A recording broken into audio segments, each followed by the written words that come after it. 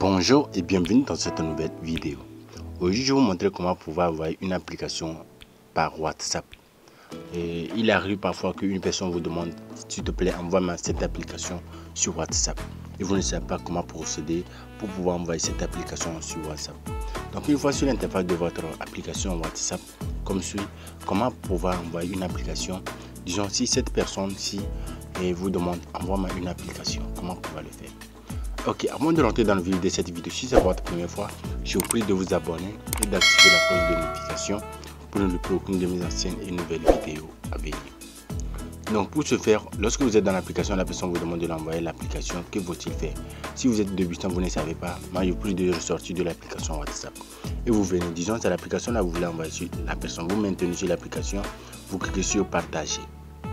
Une fois cliqué sur partager, ça va apparaître comme ceci. Vous cliquez sur WhatsApp vous allez cliquer sur l'icône WhatsApp. Lorsque vous cliquez sur WhatsApp, ça tourne comme ceci. Lorsque ça finit là, ça, vous allez venir aussi sélectionner la personne à qui vous voulez envoyer l'application. Donc chez nous, on va sélectionner la personne qu'on appelle graphique designer. On sélectionne et on envoie l'application qu'il désire que qu'on l'envoie. Lorsque une fois ici sélectionné cette application, on envoie directement l'application à la personne.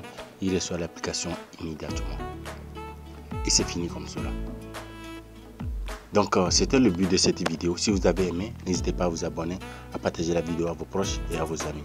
Donc, à plus pour une autre vidéo. Bye bye.